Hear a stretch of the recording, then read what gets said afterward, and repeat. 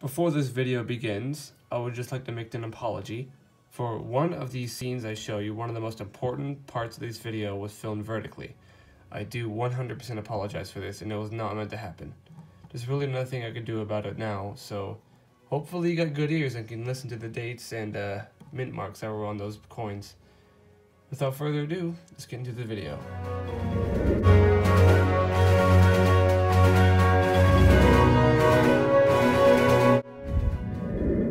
What is up everybody? Today I got myself a $110 Amazon package that contains a roll of mercury dimes. Now I'm recording this in 2020 and I know my red book is outdated, but it still contains all of the mercury dimes from 1916 to 1945. And I got myself a brand new mercury dime book just a week prior to this video. So far I got myself a 1923. Now beware of 1923 Denvers, they are counterfeit.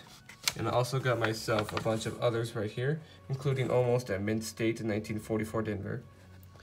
1937, 38, 41, 42, 43s, and of course my 44s.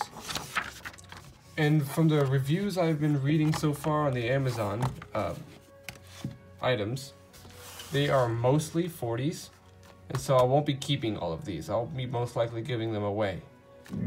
So this is the receipt I have received from Joel D. Ritu Rare Coins on Amazon. I've actually ripped the top part off because they do not like to stop putting my address on there. So, yeah, this is pretty much what it is. 1916 to 1945, 90% silver roll of mercury dimes, supposed to be 50 of them, $5 face value, with a unit price of $105. Now, I did pay taxes, so it was pretty much $112 I paid for this whole thing. And um, I'm about to count them all real quick to make sure I got all 50, and then I'll check everything for the dates, errors and varieties, and all that other stuff. Alrighty, we got ourselves the end products. So all 50 have been opened. So you got some five oddities out there. I'll get to those in just a minute. They're not really oddities, but older dates. We got ourselves a 1934. Oh yeah, just real quick before I continue. The top row is no mint. The middle row is Denver minted, and the bottom would be S minted. And there are no errors, no varieties. There's no 42s over 41s. There's no micro S's.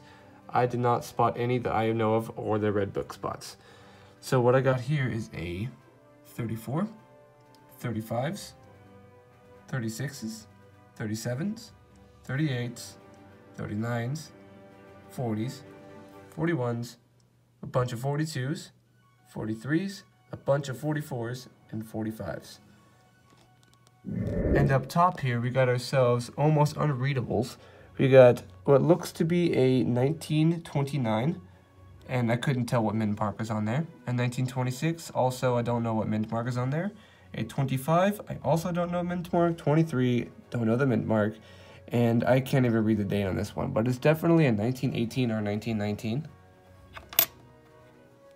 Also, once again, can't read the mint. Now, many of you might be asking, how much is all this worth? Like, is it worth buying all this? With no oddities, or uh, most of them in G4, the fine condition, I don't think any of these are mint state except for uh, maybe this one, maybe. But if I were to take the average of each G4 $3 or $2.75 and multiply it by 50, that'll be how much you get. Alright, so I just did the math on my calculator. If you had $2.75 for each dime, you would come up to $137.5. Now, I'm no coin expert. I'm an amateur still running off the uh, red book.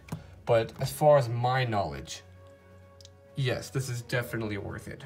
I would definitely buy this again especially if you can get yourself a profit. You got yourself $137, 137.5. And they're not all 40s, although the majority are 40s. I still got one from the teens. And I got plenty of spaces to fill in my Mercury Dime book. And that about wraps up this video, uh, the Mercury Dime review. Now, if you have any questions, I probably won't be any use. I'm still just an amateur at this but this is from my knowledge right here. If you want to try and ask me a question, I may be able to answer it, but most likely I'm just to be, just Google it or something, or maybe look at my red book if I need to. But that's about it. See you guys next time.